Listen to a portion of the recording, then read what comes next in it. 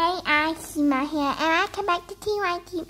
So yesterday I noticed that my flipper was a little bit um bumpy. So the thread came out a little bit.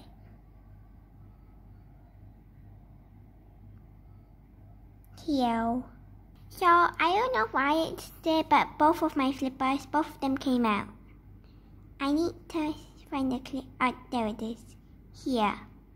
So we're gonna trim it a little bit. So first I need a scissors and then I'll start doing the thing. I need to be very careful.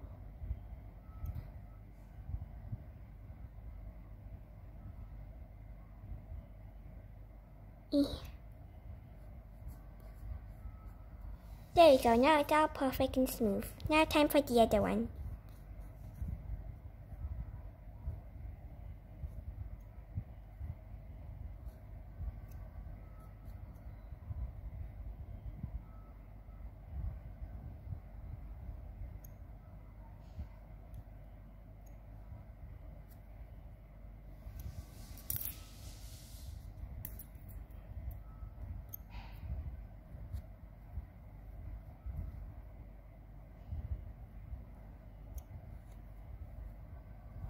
Hmm, this one's done too. Wait, there's a little small spot. There we go. Ta-da! Now I'm smooth again. Yay!